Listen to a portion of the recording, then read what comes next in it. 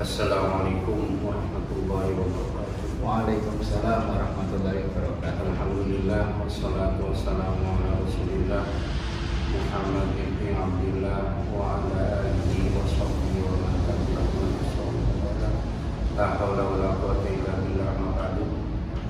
Pemirsa eh, di sebelah ini saya adalah eh, Bapak Dr. Imam Zakwan Zakwan nanti saya akan menanyakan tentang kejadian gempa pada tanggal 21 November itu tepatnya jam setengah dua siang.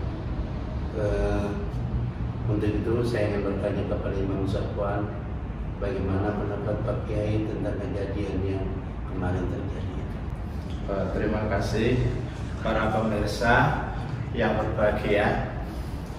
Eh, gempa kemarin yang terjadi terutama ada di Cianjur dan sekitarnya.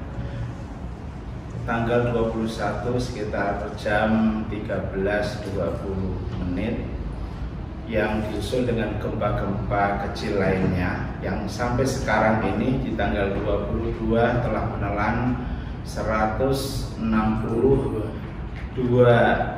saudara kita yang telah wafat dan juga puluhan yang masih luka-luka baik luka ringan maupun luka yang berat itu sangat memprihatinkan buat kita. Kami sebagai pengurus Masjid Raya Haji Hashim Ash'ari sangat ikut berduka cita dan prihatin juga mendoakan kepada beliau-beliau semua. Karena orang-orang yang terkena musibah itu kami yakin itu adalah orang-orang yang tergolong syuhada. Sebagaimana apa yang disabdakan oleh Rasulullah dalam sebuah hadis riwayat Imam Bukhari asyuhada'u khamsatun.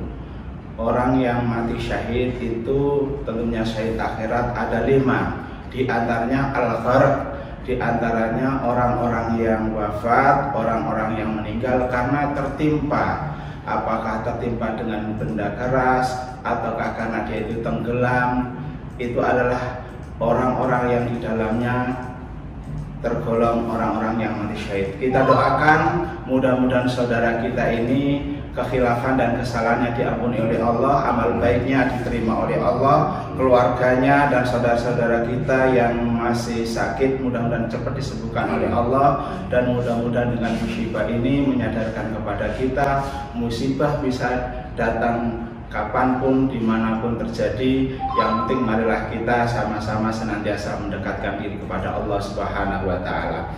Oleh karena itu harapan kami, ya kami mengajak kepada seluruh kaum muslimin dan muslimat, mari kita saling membahu membahu untuk meringankan beban mereka. Mungkin itu Pak Kiai yang bisa Demikian apa yang saya sampaikan. Sekali lagi terima kasih ya, atas Assalamualaikum warahmatullahi wabarakatuh. Waalaikumsalam.